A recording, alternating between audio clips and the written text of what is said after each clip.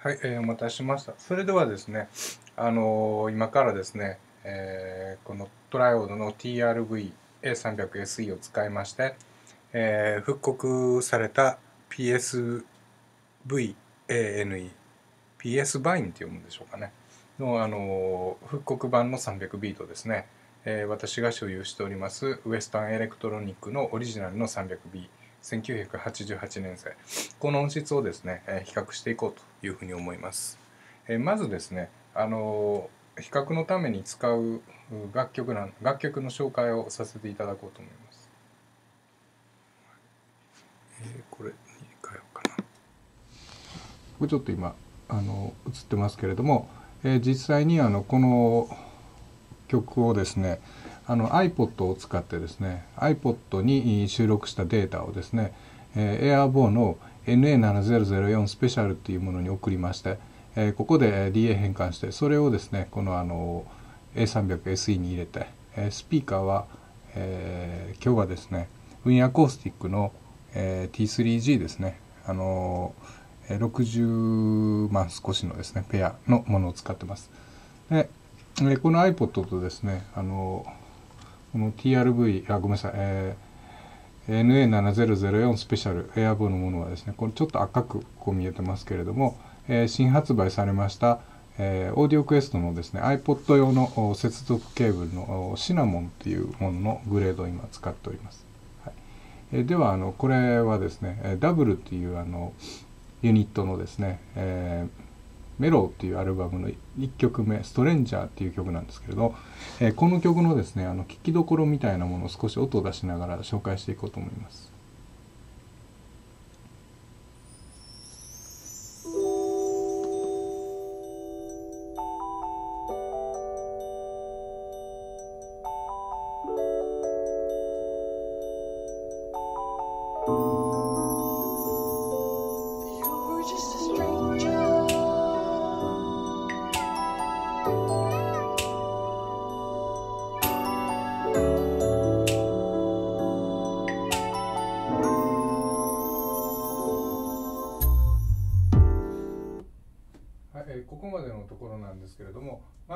出しのですねあのウィンドベル。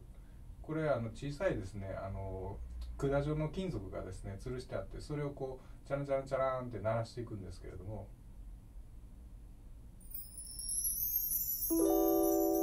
このあのウィンドベルのですねあの音の立ち上がりとあの余韻の美しさがあのここで分かりますね。それによってアンプのあの立ち上がりの速度、えそれからあの響きがどれぐらいつくか。あるいはあの音の濁りとか透明感こういったものがあの判断できます。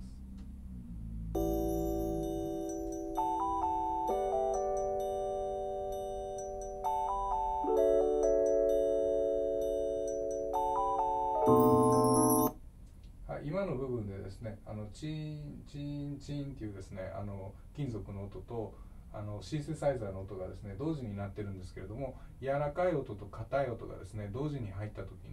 にそれぞれの音をですねきちんと分解できるのかどうかっていうところが今のところで聞くことができます。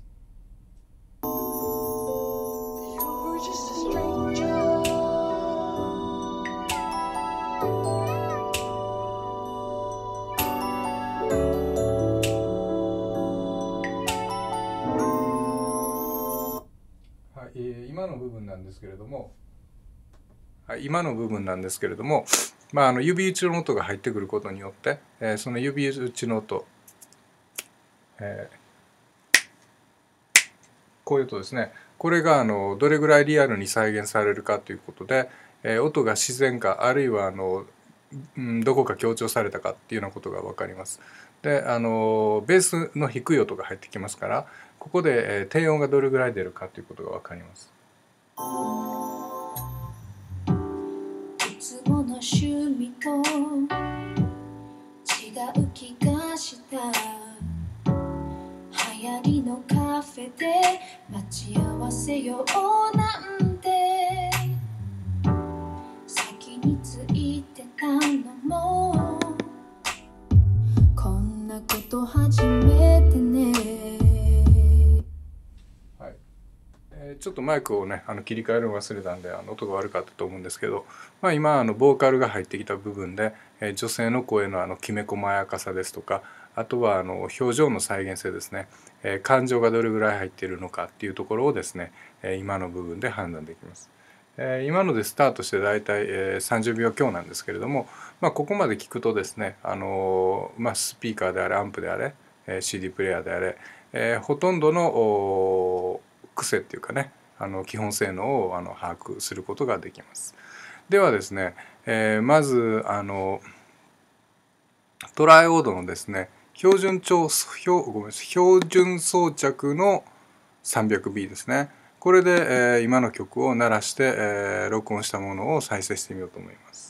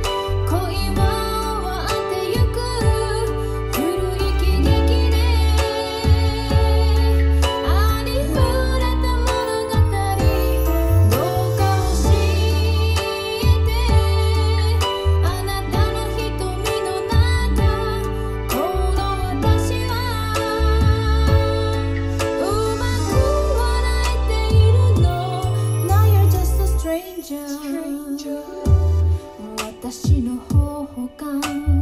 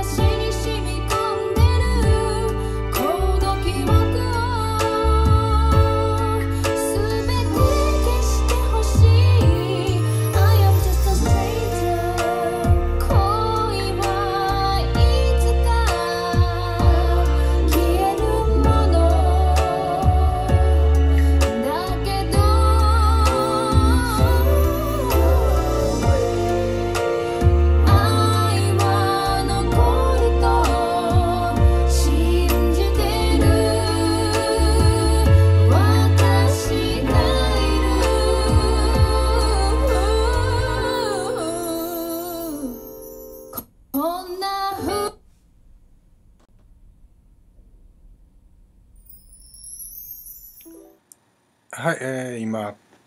途中でですねあの音を切ったので、えー、中途半端になりましたけれども、えー、ではですね、えー、これ今あのバックバルブの、うん、VV300B っていうのを持ってきたんですけれども、えー、この一番外側に見えるこの黒い金属ですねこれをこれがあのプレートっていうんですね。でちょっと見えるかな？このあの中にですねあの細いあの針金みたいなものがぐるぐる巻いてあるんですけどそれがあの加速度っていうんですねであの真空管っていうのはその加速度から出たあの電子がですねプレートに向かって飛んでいくんですけれども途中にあのグリッドっていう網が入ってましてそのグリッドにですねあの電圧をかけることによって、えー、加速度からプレートに届く電子の量が変わるんですね。えー、によって、えー、グリッドにかける電圧によって、えー、出力が変わるのでそれによって増幅するっていうあのそういう構造になってるんですね。で、あのー、この直熱三極管 300B っていうのは直熱三極管って言われる玉なんですけれども直熱三極管っていうのはこの、あのー、グリッドですね電子の出ていく部分がですね、えー、細い針金になっていてこれがあのヒーターでですね加熱されて暖かくなって電子が出やすくなるんですね。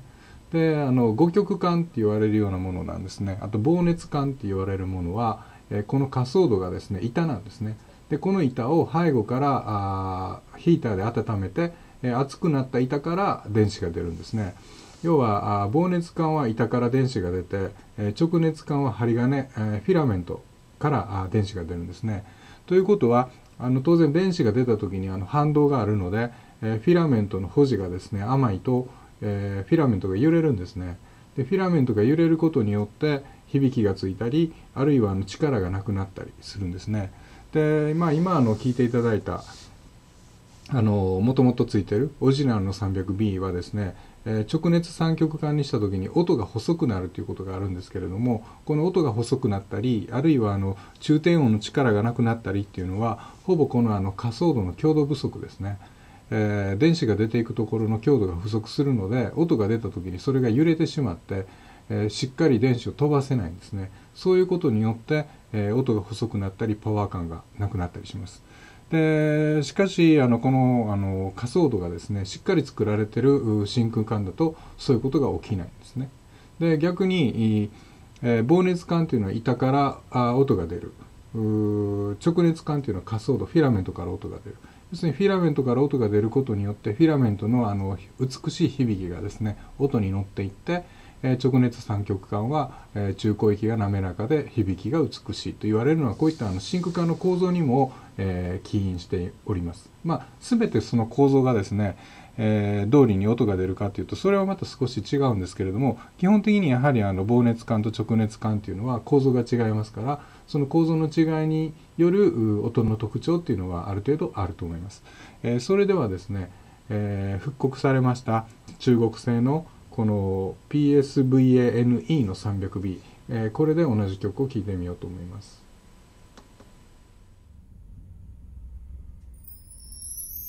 濡れ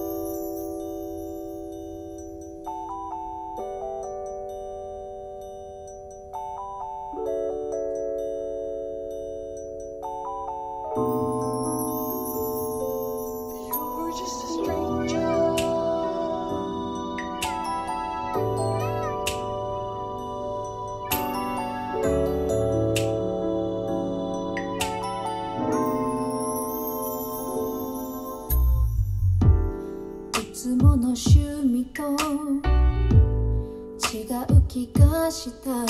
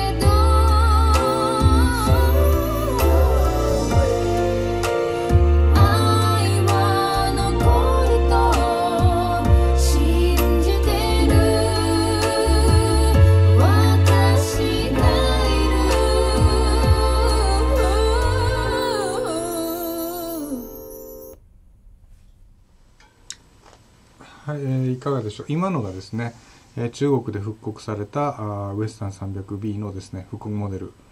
なんですけれども、まあ、あの標準装着されてるペア3万円の 300B から比べるとやはり音の透明感中低域の厚みあとパワー感それから声のですね、表情の豊かさっていうのは、少なからず変わってきたんじゃないかなと思います。こちらの真空管はですね、ペアで9万円ということなので、えーオリジナルの約3倍します。オリジナルじゃない、ごめんなさい。もともとついてるものの約3倍しますね。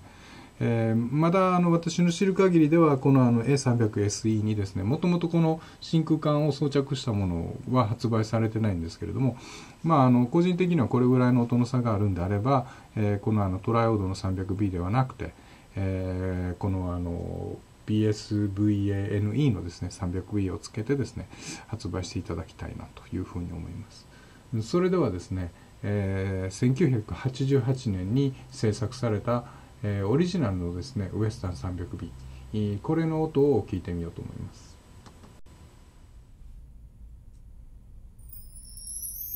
い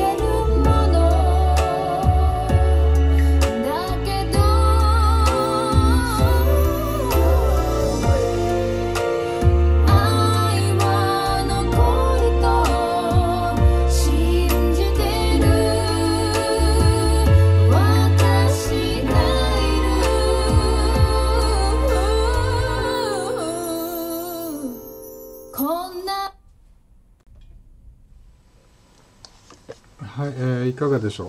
う、えー今のがですね、えーもう今いくらするのかな？これ日本で20万円超えてると思うんですけれどもあのまあ、真空管の王様っていうんですかね。真空管 King of the Tube ですかね。あの真空管で本当に最も真空管アンプファンのですね、えー、注目を集めてるっていうか、まあ、ファンの多いウエスタン 300B の音でしたね。やはりあの復刻された 300B と比べてあのまあ、格段にここ音のここがこう違ってるっていうのはね明確に指摘するのはちょっと難しいかもしれないんですけども全般的なこうあの音楽を聴いてる時の安心感それから雰囲気そういった部分はですねやはりあのこのウエスタンの 300B っていうのは、えー、他の復刻されたものとか、えー、中国製とかいろんなところから 300B の互換球が出てますけれどもそれとはやはりちょっと違うやはり趣深い音がするのかなっていうふうに思いますね。特にあのこの音楽の最後の部分で、えー、コーラスが入ってきますねあの女性ボーカルの後ろに男性のあのコーラスが入ってきますねでハーモニーになるんですけどそういうところのあの各々の声の分離感とか混ざり具合こういう、まあ、広がり感とかそういう部分の自然さにおいてですねやはりあのこの中国で復刻された PSVANE のですね 300E はですねオリジナルの 300B と比べると少し違うのかなっていうような感想を持ちました、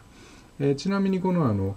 本日使ってる PSVANE の 300B なんですけれどもまあすで、えー、にあのそうですね150時間ぐらい鳴らしておりますからエイジング的には十分だというふうに思います。それでは、えー、ここでですね 300B の互換機の中でこれももうあの今作られてね作られていないみたいなんですけれども、え VV300B っていうのがありますので、えその VV300B をですね、えちょっと鳴らしてみようというふうに思います。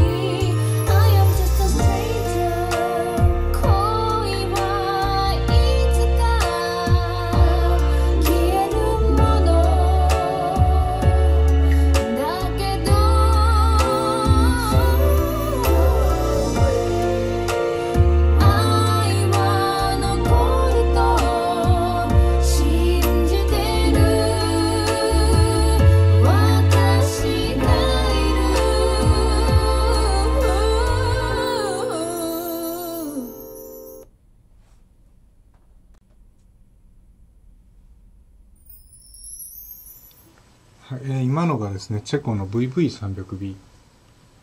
このこの玉ですね。白い袴がついて。るちょっとちょっと。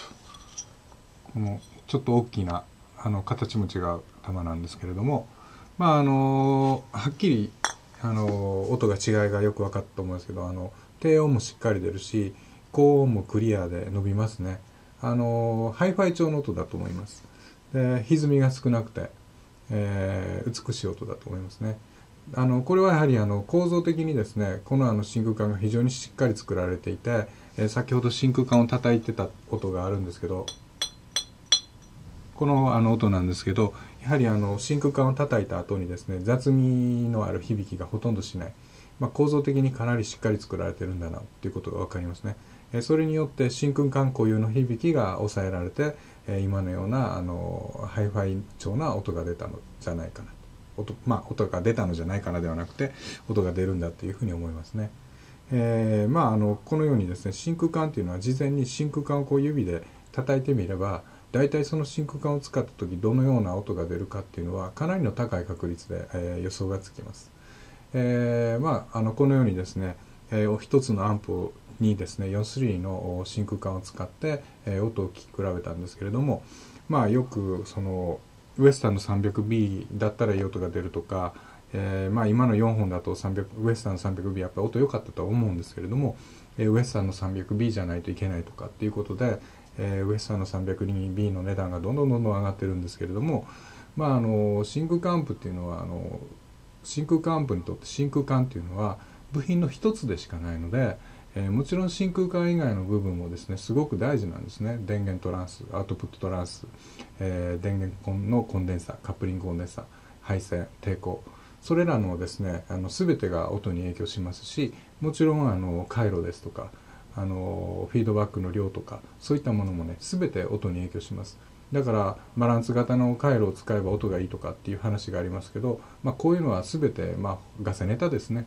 えーウエスタンの 300B を使わないと出ない音があるとかっていうのはかなりの高いレベルではそうなんですけれども、えーウエスタンの 300B を使わないとあの素晴らしい音が出ないアンプっていうのは僕の知る限りあんまりないですね。っていうのはウエスタンの 300B を使わなくても、えー音がいいアンプはたくさんあるからですね。例えばですね、えー僕が信頼している真空管アンプのメーカーに EAR っていうメーカーがありますけれどもここの912っていう200万円の真空管アンプにはですね、チェコで作られた今の玉が使われてるんですね。であの実際聞いてみてこのアンプって素晴らしく音がいいんです。まあ、過去聞いた真空管のプリのアンププリアンプの中でも、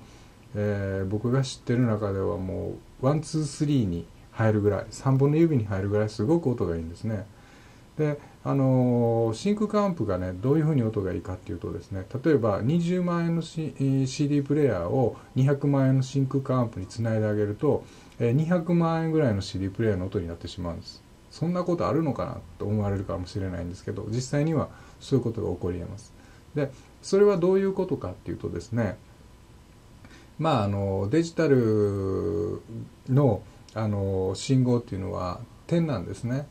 えーで点と点をですねどのようにつないでいくかっていうのが重要なんですね。最終的に出てくるあの音はですねアナログで線ですから要するに点が打たれたものをどのように線でつなぐか。でそのつながれた線がですね元々の音に近いかあるいは元々の音よりもさらに美しい音になってるかっていうところがあのオーディオのすごく重要なところで、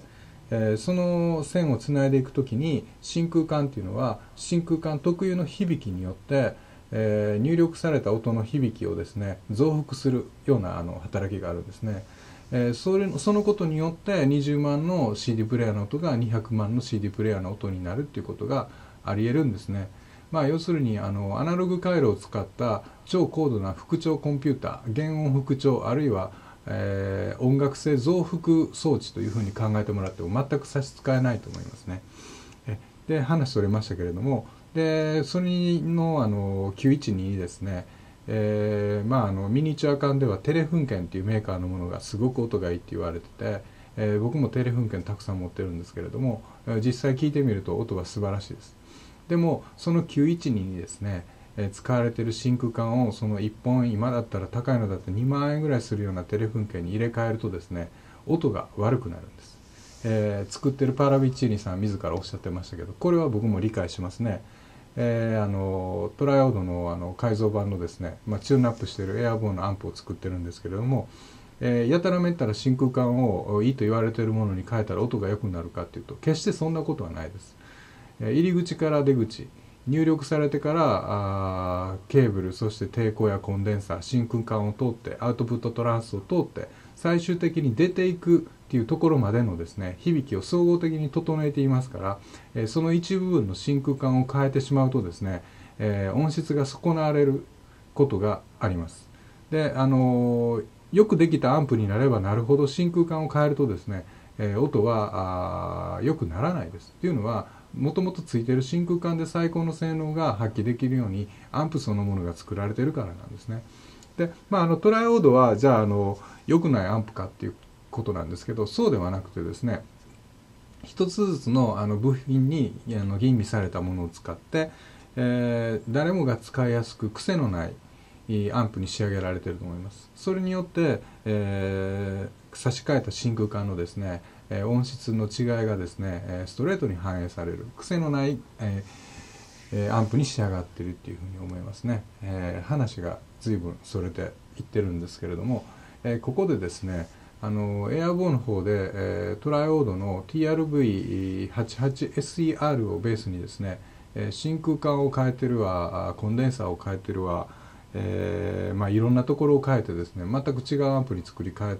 たと言っても差し支えないほどのアンプをですね、えーまああと 2, 2ヶ月か3ヶ月ぐらいではねあの発売しようというふうに思ってるんですけれど、えそれでですね今のあの曲を聴くとどんなふうに聞こえるかっていうのを聞いていただこうと思います。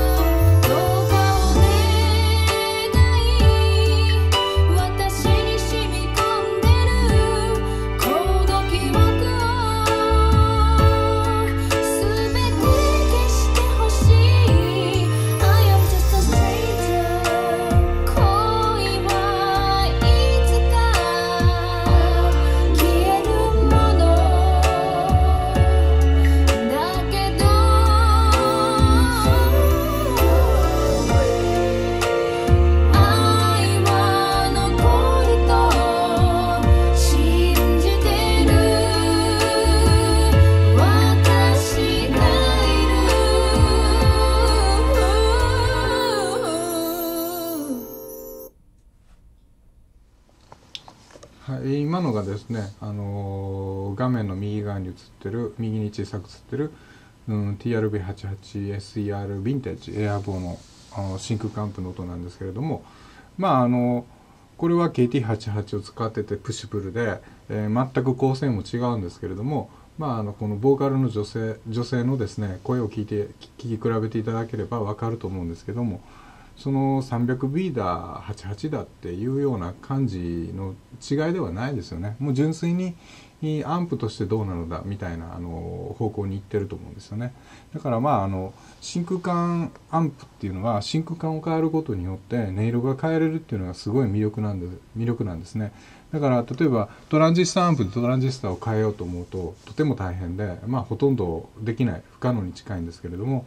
えーアンプの心臓部である増幅素子真空管をですね、えー簡単に差し替えて、えー音を変えて楽しめるっていうのはこれはもうあの真空管最大の真空管アンプ最大の魅力ですね。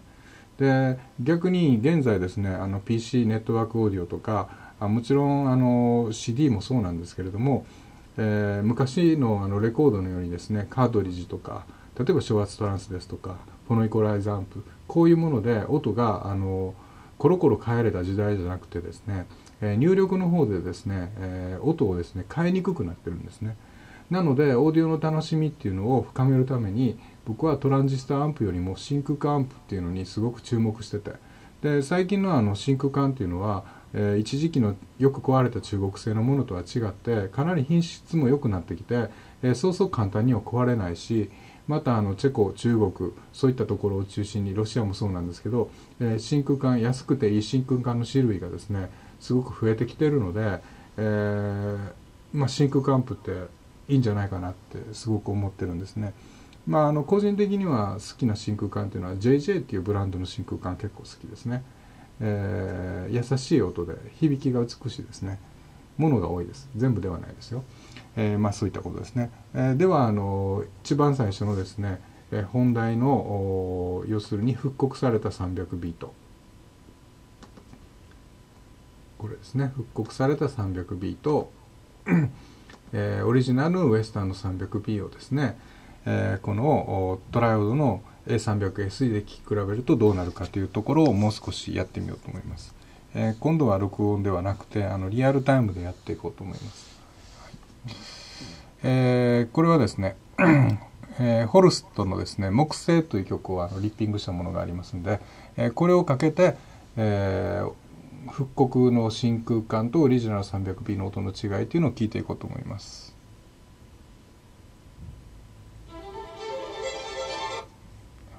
はい、マイクを切り替えますね。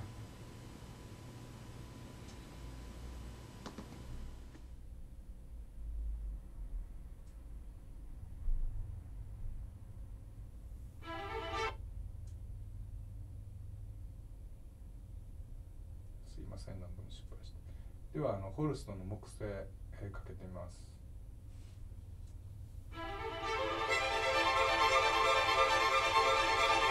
う ん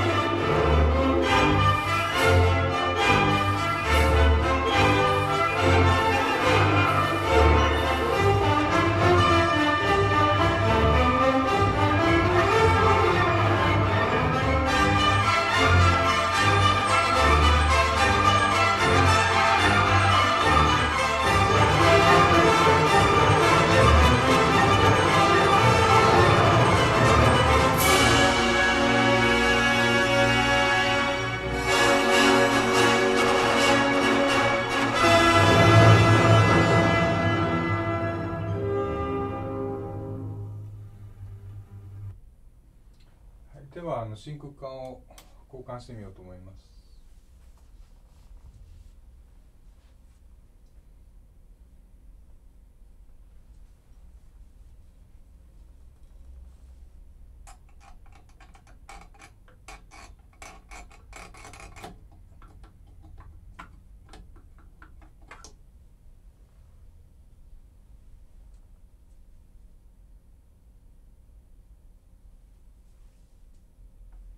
今あのちょっと都合上あのこの熱い真空管をですねハンカチを使って抜いてますけれどもあの冷めてからしてくださいね。あの直接掴んだりするとあのやけどしてしまいますから非常に熱いですからあのこういったことはなさらないようにしてください。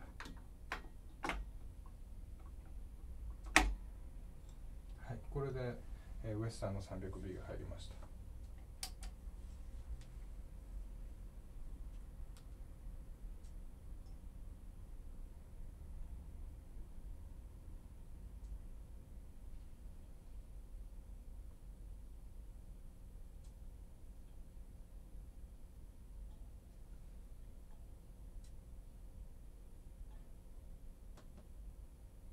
それではあのフォレストのですね、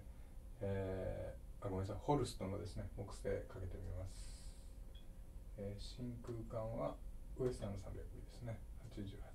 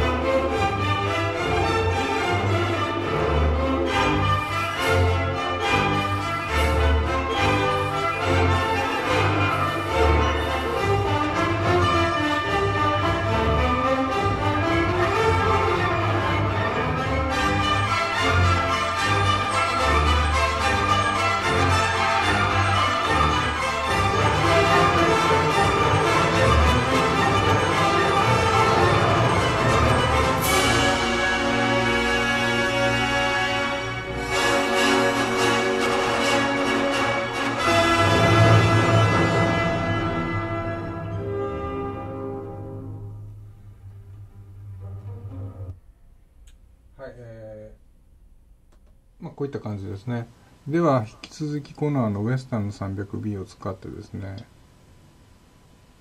えー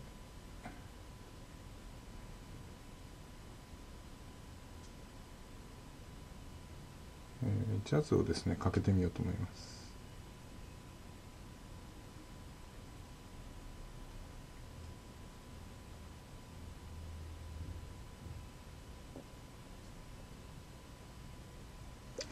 えー、そうですね短い曲でナタリー・コールのですね「えー、アンフォーゲッタブル・ウィズ・ラブ」っていうアルバムから「えー、ラブ」っていう曲をかけてみようと思います。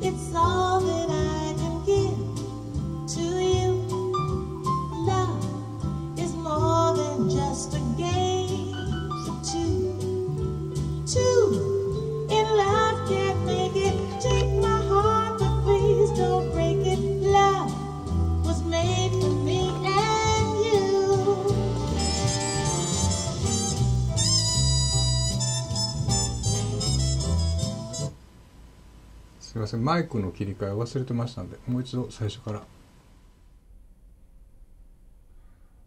ではあのナタリー・コールの「ラブ」を。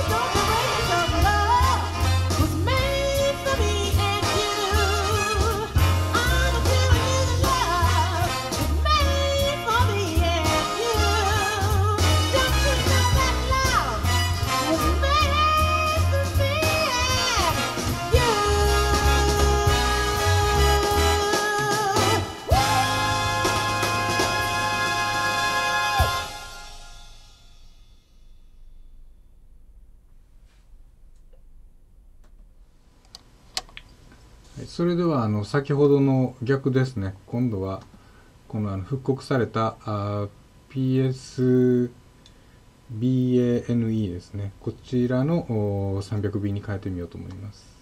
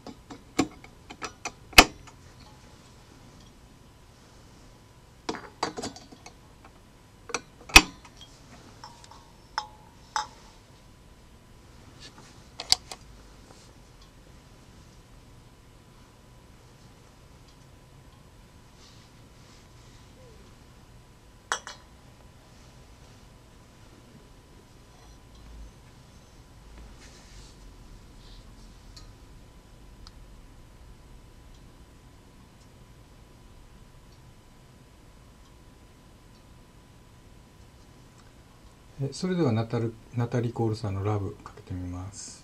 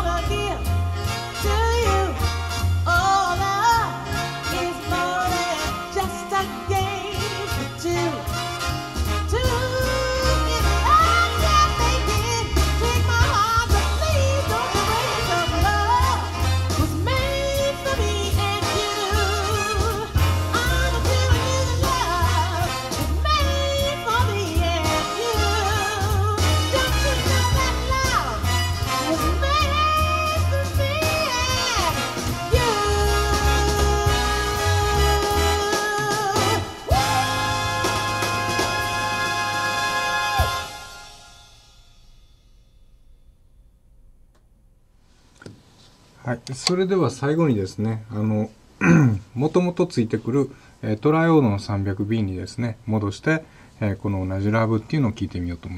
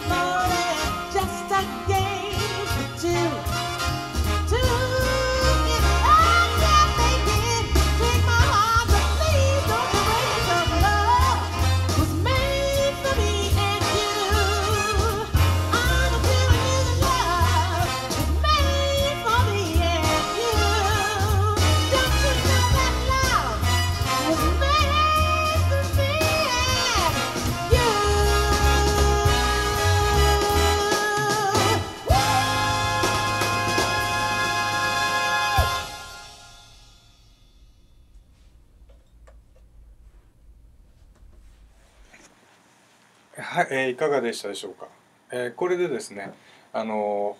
このトライオードのあの TRV300SE を使った真空管の音質比較を終了させていただこうと思います。えー長時間お付き合いどうもありがとうございました。